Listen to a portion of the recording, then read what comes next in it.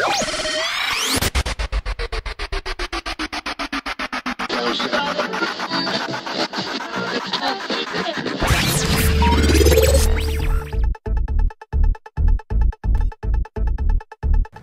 now in Palmyra in the desert, in the Syrian desert. Uh, we're at the Temple of Baal, which you see right behind me. This was the god who was the Lord of Lords, and uh, it was built in the first century BC, and uh, part of an enormous complex here in Palmyra. And on we go.